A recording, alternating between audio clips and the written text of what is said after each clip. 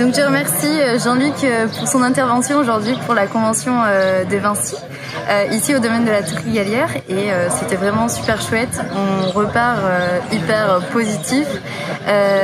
L'énergie qu'il a transmise est super contagieuse. donc on part au top avec la patate quoi.